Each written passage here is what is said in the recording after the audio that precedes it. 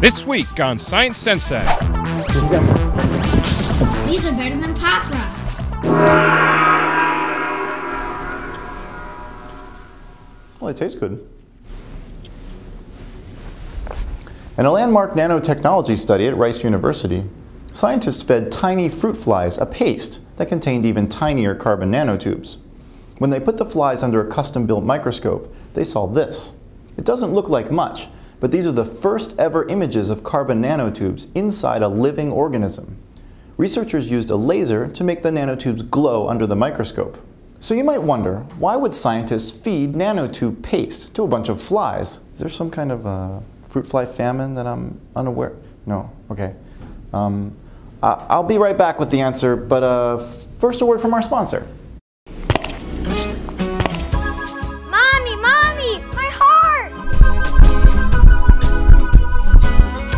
Oh, honey, that's just your Nano Crunchies.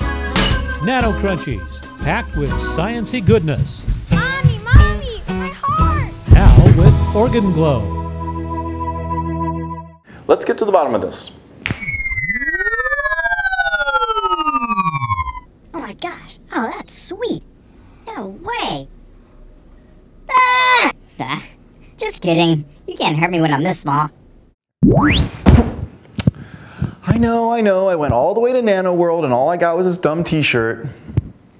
You can't read the words, they're nanoscale, dude.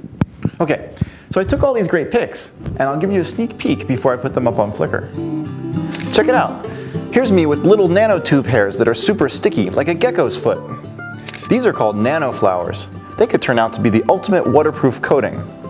That's me with the world's smallest guitar. It's so small you have to use a laser to play it. This is me riding a nanobot powered by muscle cells. An army of them could one day do jobs on a spacecraft.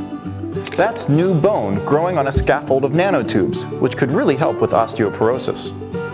And these are quantum dots. They can find tumor cells with extreme precision and could revolutionize the diagnosis of cancer and other diseases.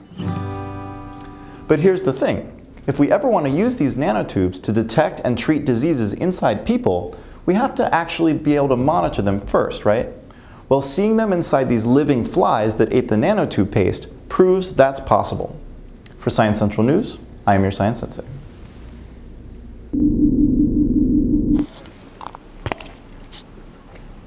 Okay, okay, turn off the lights. what? Do you see something? Is it cool?